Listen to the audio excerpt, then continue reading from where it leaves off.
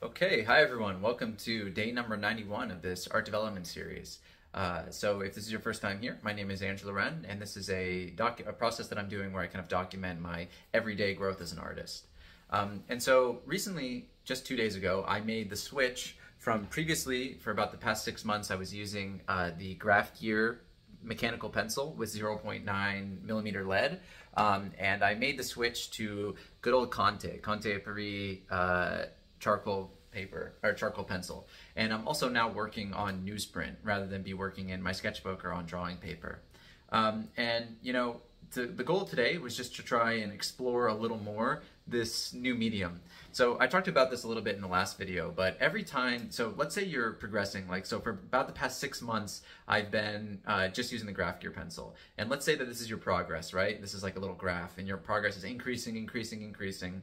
And then you kind of make a switch to another medium. And unfortunately, there's a little drop off in your skills and in your drawing um, that you have to kind of like recuperate. So I'm still kind of in that phase of just trying to get back a little bit to where I was. Um, and the reason is the way that you draw with this is different than the way that you draw with this. So let me explain. Like fundamentally, certain things never change. Like understanding a form and understanding how to put tone onto a form and put sh- like shading a form, understanding how to accurately draw the eyes or represent the eyes, um, understanding structure, understanding anatomy. Anatomy never it doesn't matter which tool you're using. The anatomy of a of a subject is always the same. The structure is always the same. But so so what changes?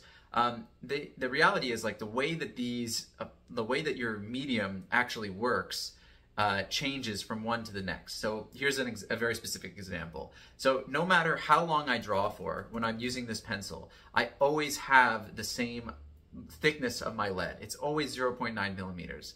The tip can get rounded a little bit, but for the most part, it always stays sharp, which is a great advantage of, of this tool. Uh, but meanwhile, with the Conte pencil, you have to sharpen it and sharpen it consistently. Otherwise, the tip quickly gets dull. And likely while you're drawing, this process is happening without you kind of even realizing it. Um, you also have, you know, when you do this kind of sharpening technique, you have not only the tip, but you also have this whole side here where you have to work with that you don't get with the uh, with the graphite pencil. Um, there's also differences with like, you know, how hard do you press and how much can you erase. That varies from medium to medium when you're doing drawing mediums.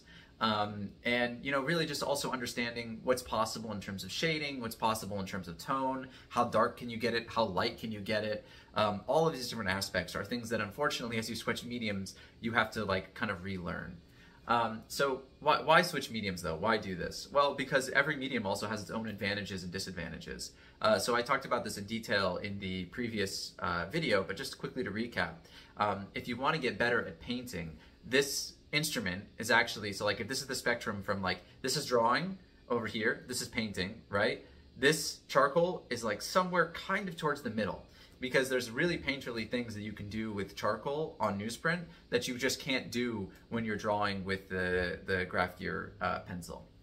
How many times have I lifted these up, put them down in this video?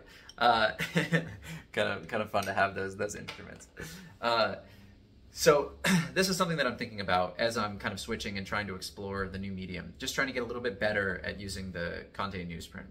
Um, so today I did a quick little draft, or quick little block-in of a figure. Um, now I actually did a block-in of this, of rather a portrait. I actually did a block-in of this with uh, the mechanical pencil. I think probably like 20 days ago. You'll have to search through and see see which uh, which day it was. But I've actually already done a drawing of this. So that was one of the reasons I was like, oh, you know what? Actually, I want to retry this now with the uh, with the charcoal pencil and kind of see the differences and see the differences in how I work and also see the differences in the results.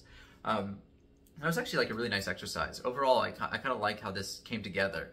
Um, the lay-in portion and the construction portion was like identical. I didn't really have any differences.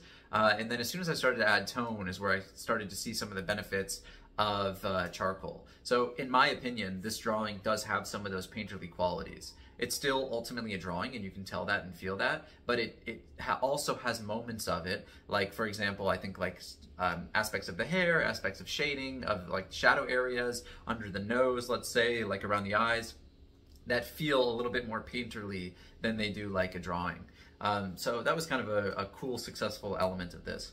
But I would say that for this week, what we're going to be doing is really just kind of exploring a little bit more charcoal on newsprint and we'll do a combination of both figures and portraits and maybe also revisit like some other drawings that I've done in the past or even like maybe revisit a master copy would be great actually. Um, so Jeff Watts is really well known for working exactly with the Conte pencil and the newsprint pad um, and so I think I'll probably do a master copy of some, some Jeff Watts work just to see how he explores and how he thinks about the medium. Uh, but that's everything for today. I hope I, uh, if you haven't drawn yet today, that this maybe has inspired you to draw today. And we will see each other tomorrow for day 93.